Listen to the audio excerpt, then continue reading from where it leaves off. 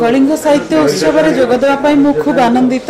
ଯେତେବେଳେ ମୋତେ ଅଶୋକ ବାବୁ ଅନେକ ଥର ଫୋନ୍ କରି ଏବଂ ଇମେଲ୍ ସୁଦ୍ଧା କହିଲେ ଯେ ଓଡ଼ିଆ ଭାଷାରେ ଓଡ଼ି- ଓଡ଼ିଆ ସାହିତ୍ୟକୁ ନେଇ ଆମେ ଗୋଟେ ଏବଂ ଓଡ଼ିଆ ଭାଷାର ଲେଖକମାନଙ୍କୁ ନେଇ ଆମେ ଗୋଟେ ଫେଷ୍ଟିଭାଲ କରିବୁ ମୁଁ ସେଥିପାଇଁ ସହମତି ଦେଇଥିଲି।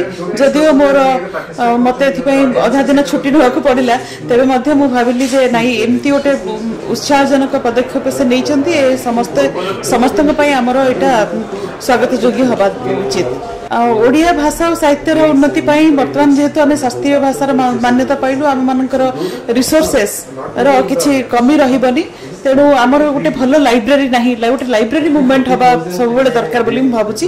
କାହିଁକିନା ବଙ୍ଗଳା ହଉ ଏବଂ ଉମ, କେରଳ ହଉ ସେମାନଙ୍କର ଏତେ ଲାଇବ୍ରେରୀ ଅଛି ଯେ ଓଡ଼ିଆ ବହି ପ- ପ୍ରକାଶନର ପ୍ରୋତ୍ସାହନ ମିଳୁଛି ସେମାନଙ୍କୁ ଏବଂ ସାଧାରଣ ଲୋକ ପଢ଼ିବାକୁ ପାଉଛନ୍ତି। କିନ୍ତୁ ଓଡ଼ିଶାରେ ସେଇ ସେଇଟା ନାହିଁ। ମୁଁ ମୋ ମତରେ ଅନେକ ଗୁଡ଼ିଏ କଥା ହେଇପାରିବ ମୁଁ ବେଶୀ କଥା କହିବା ଉମ, କଥା ଭାବୁନାହିଁ। କାହିଁକିନା ମୁଁ ନିଜେ ମଧ୍ୟ ପଲିସି ମେକର ନୁହେଁ। ମୁଁ ଖାଲି ଗୋଟିଏ କଥା କହୁଛି ଗୋଟେ ଲାଇବ୍ରେରୀ ମୁଭମେଣ୍ଟ ନିହାତି ହେବା କଥା ଓଡ଼ିଶାରେ। ଲାଇବ୍ରେରୀ ଯୋଗୁଁ ସମସ୍ତେ ବହି ପଢ଼ିବାକୁ ପାଇବେ। ଏବଂ ତା ସହିତ ଅନ୍ୟ ବହୁତ କଥା ହେଉଛି ସାହିତ୍ୟ ଘର ହେଉଛି ଗୋଟେ ସମ୍ବାଦ ତରଫରୁ କରୁଛନ୍ତି ସୋମରଞ୍ଜନ ପଟ୍ଟନାୟକ ଏବଂ ତାଙ୍କ ଟିମ୍ କଥା ବାହାରୁଛି। ଅନେକ ଜିନିଷ ବର୍ତ୍ତମାନ ହେଉଛି ଏବଂ ଆହୁରି ଆଗକୁ ଅଧିକା ଅଧିକା ହେବ ବୋଲି ଆମର ମୋର ବିଶ୍ୱାସ।